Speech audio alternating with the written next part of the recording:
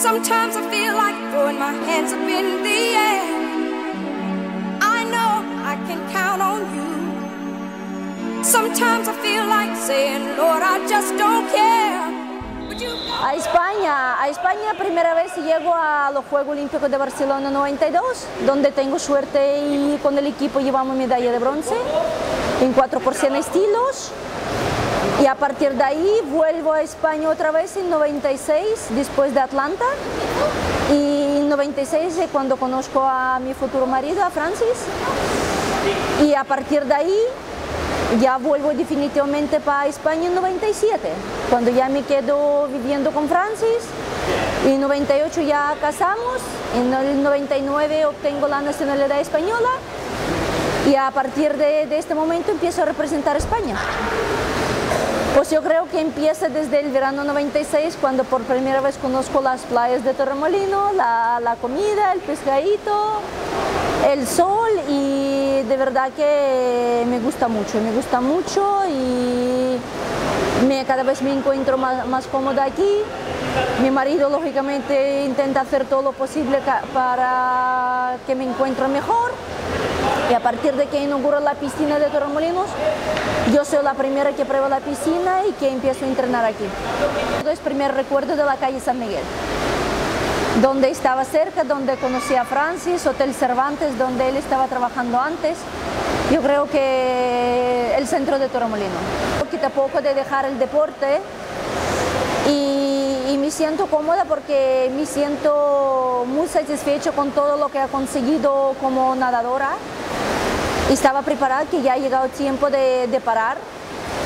Quería hacer mi quinto juego olímpico y lo hizo, terminado en Pekín. A partir de ahí yo tengo mi niña, acabo de hacer un niño también que tiene ahora tres meses y me encuentro completamente satisfecha con el trabajo que tengo aquí en el patronato, con el club que llevo también, e intento ayudar un poquito a mi marido y claro, con los dos niños en casa.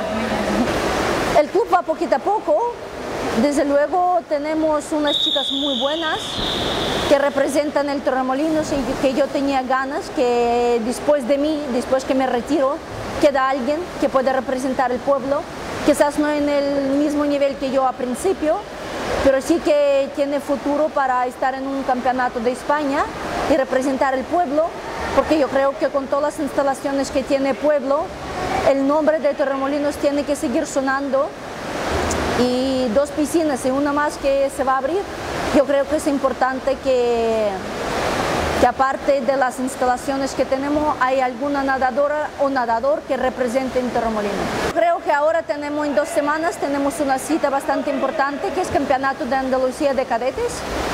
Y yo creo que ahí vamos a llevar algunas medallas de oro, yo creo que es importante. Y a partir de ahí el verano el Campeonato de España, que también podemos llevar una otra medalla. Yo creo que es, para este año es el objetivo principal. Complicado porque tengo trabajo en el patronato a jornada completa, entonces intento dedicar mi tiempo de trabajo aquí y aparte de esto seguir con mi club por la tarde, que sea dos días a la semana todo lo que puedo satisfacción de trabajo realizado, que no ha sido en vano todo el sacrificio lo que uno hace durante años.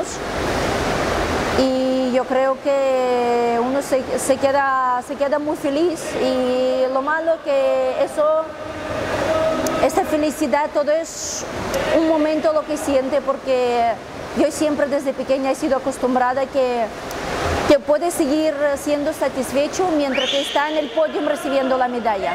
Una vez que baja, se acabó, empieza otro día de trabajo, otra lucha para intentar mejorar, porque siempre se puede mejorar. Nunca se puede quedar uno satisfecho al 100%.